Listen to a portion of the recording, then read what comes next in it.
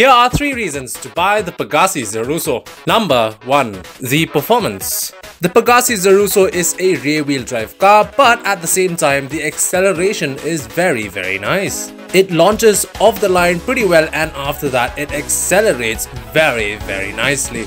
And not only that, but the top speed of the Zorusso as well is actually pretty decent and not that bad. So if you are looking for a supercar that accelerates pretty well, that is rear wheel drive and also at the same time that has a decent top speed, the Zorusso is the one for you.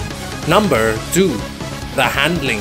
The Pegassi Zorusso is honestly an amazing car when it comes to handling because it just handles, it just grips very very well and although it is a rear wheel drive car, it does not oversteer or understeer at all. And not only that but the car is also very fun to drive be it in free roam or even while racing. So if you are looking for a car that has nice handling and is also very fun to drive, the Zorusso is the one for you. Number 3. It's easy to drive and it looks very very nice. And not only does it look very nice but it actually handles very very well and on top of that it is also very easy to control and to handle.